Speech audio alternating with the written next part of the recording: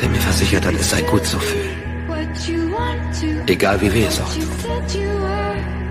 Dass unsere Gefühle uns nun mal menschlich machen.